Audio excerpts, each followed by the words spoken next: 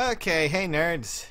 It's now time to take a look at the next banner that's coming. Yay! Focus banner. Let's see which characters there are. Of course, I've enabled my mouse so we can look through things and poke things. I'm sure that'll go really well. Alrighty, so let's buckle in. This one's called Performance Art. Or Performance Arts. Artists? Something like that. Anyways, let's see what we have. Fire Emblem Heroes. And it's called. Oh? Performing on a grand stage. Well, I'm guessing this is not a special heroes to battle. What we got? Festival dancer. Let's dance. Oh, Olivia. Cool. Oh, what? Are you a throwing weapon expert? Oh no. Oh dear. Adjacent allies recover 7 HP after combat. Also, okay, enemy suffers. Yeah, typical, typical throwing weapon. But, dancer. Interesting. So we have a dancing unit that allows you to. That's a colorless dance unit. That's cool. I'm always fine with that. Distant defense. I mean, that's always a good ability to have, especially for something like that. Uh, I don't see why not. And then finally, oh, Blaze Dance. So basically, we're getting a strange little mixture of dances and dancers who will do. Okay. All right, that sounds pretty good. I'm cool with that. I'm I'm okay with this. Uh, I, I, we needed more dancers. We needed more variants on them, and you know, a colorless throwing weapon dancer is interesting, to say the least. Uh, and Blaze Dance seems cool. I don't know if it's going to be usable though. It depends. I mean, I I know some of you might be going, "What? Why?" But well, just because. Usually, it's kind of hard to tell. Um, when it when, unless it's you know it needs usually these kind of buffs need to be a little bit higher than a than a hone, but still, nonetheless, that's going to be a very fascinating ability to have on a dancing unit or singing unit, I guess. So let's let's see. I love this music, by the way. I mean, Olivia looks great. I really do enjoy that. Indigo Dancer. A dance. Oh. For you. It's Inigo of all the characters. That makes sense. Dancer's Ring. Um, all right. The all they all have dance? Are you serious? Serious right now? This is ridiculous. Are they? I mean, I guess it makes sense. So yes, Inigo. Um. Uh, all right, Dancer's Ring. If unit initiates attack, adjacent allies recover seven health after. I mean, okay, so basically, Breath of Life is going to be the essential weapon for all of these, but this is a Green Tome unit that has the ability. Huh. Interesting. Interesting. Alrighty, well, Gale Dance, same thing as Blaze Dance, but now has speed plus four and a hone attack three. That's that's fantastic, and this time it's it's just insane. What the hell? Oh, okay then. That that's that's fantastically fantastically neat. I don't know what I'm trying to say here. Of course, Inigo would be added like that. That's Lady of Ballads. Uh, probably Azura. Yep, there's Azura. Oh, she's an axe unit. Good. Hopefully a strong one. Oh. Oh, she has a legendary axe. If singer dances use target also granted. Excuse me. Uh, okay, we need to have a talk here. Um, what? Excuse me? Triangle Adept 3, Sing of course. This is. what? Oh my god. Okay, well. That's uh that's a legendary weapon made to be I mean that is that you ever wanted to use a blade tome more effectively without having to bring someone who could just do that? There you go.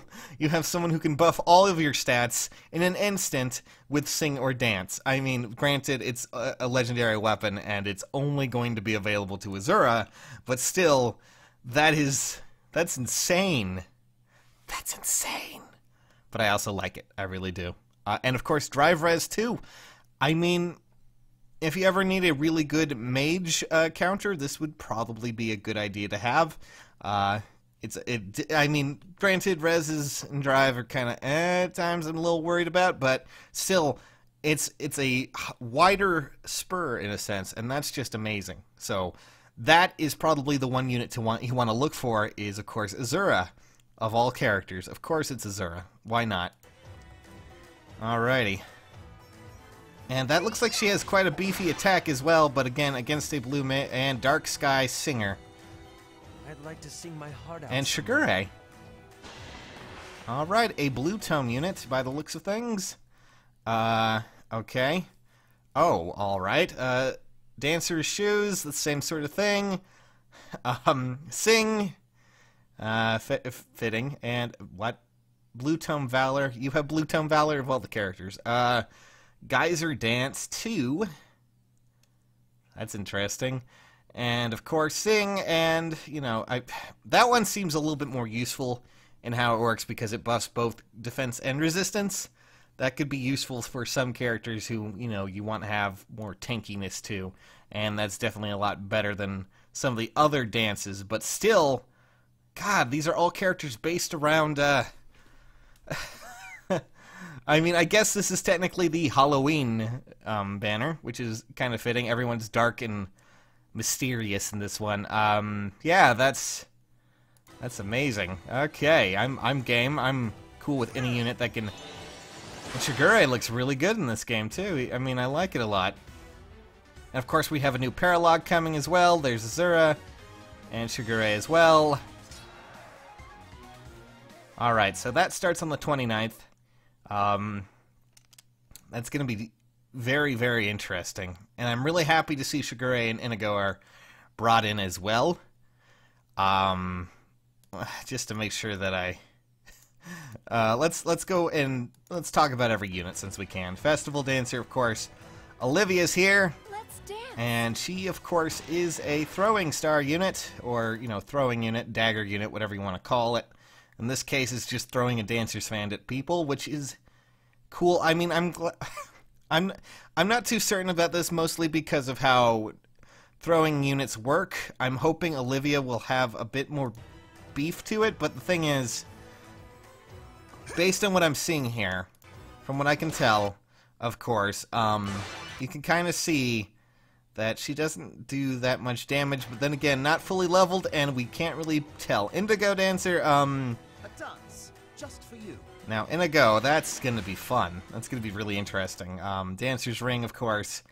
I'm sure someone may not may not agree and put a different tome on it. We'll see. Uh, we'll see how his stats work out. On this one, he seems to be hitting fairly decently hard, but uh, the ones to really look at, of course, are Azura. Um, that's just Dancing for you. that's just insane. Okay.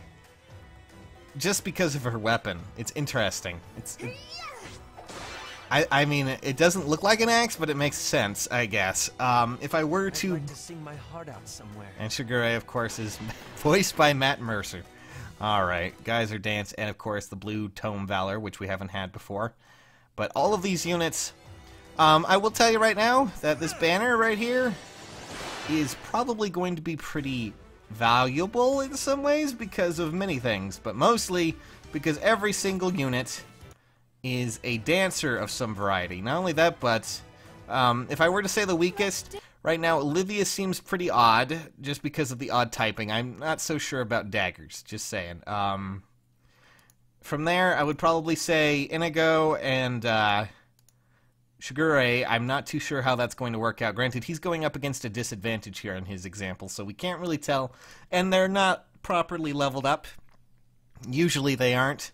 So we'll have to wait for the stats for these, but you know, these two going to be interesting because tome units who can also dance are pretty fascinating and something that I could see being very very vital in the end game, but mostly these all all of these units are going to be really good because well well not really good they're going to be useful and that's mostly because well they're all singers or dancers which is insane um, but the main unit that we're probably going to be wanting to look out for of course is good old azura here who is obviously doing her nor impression at least from the game But there's no groans of discomfort for me here, guys. I mean, that's pretty cool.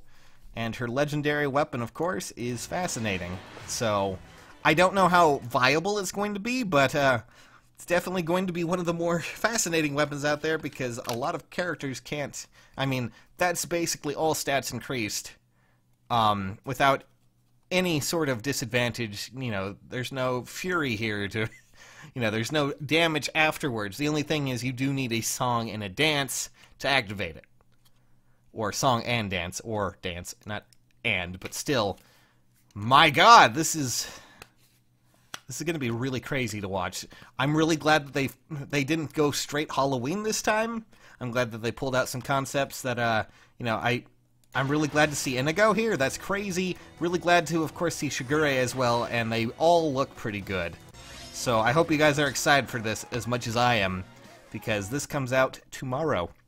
We'll be doing a summoning session, of course, and anyone who wants to uh, join in on that will be welcome to. Uh, of course, um, that's that's just so much. I mean, my God. So um, I'm glad that they're doing the bus with the dances.